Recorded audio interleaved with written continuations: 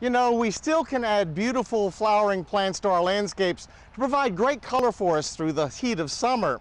We always tell people plant bedding plants in well-prepared, well-drained beds. Does that sound familiar to you? Well-drained beds? 90% of what we grow enjoy that good drainage, but there are some plants I'd like to show you that tolerate less than ideal drainage, will even tolerate boggy or soggy soils. So if you have a low area in your landscape that tends to stay wet, these are wonderful plants for those areas. Or if you have a rain garden, a, a real trend these days, these are excellent choices for rain gardens as well. Let me start off with this beautiful hibiscus hibiscus. This is the Luna hibiscus. The flowers are really large on these. They'll be larger once you get them in the ground. They bloom all summer, will grow in boggy soil, even some standing water or regular beds as well. But these Luna hibiscuses get to be about three feet tall and wide and are just lovely in the landscape. Now look at this gorgeous textural plant. This is papyrus, uh, the papyrus that you read about uh, in Egypt in the Bible. This is the same plant, and this is a wonderful plant to plant in boggy, wet areas as well. Hardy in South Louisiana, mulch it thoroughly in North Louisiana, you may get it through winters that are relatively mild.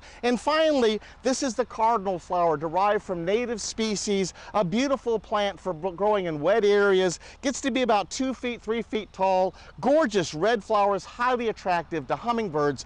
So if you have a low, poorly drained area, a boggy area, or a rain garden, consider planting the beautiful Luna hibiscus, this gorgeous papyrus for texture, and these bright red flowers of the cardinal flower, wonderful plants for your landscape.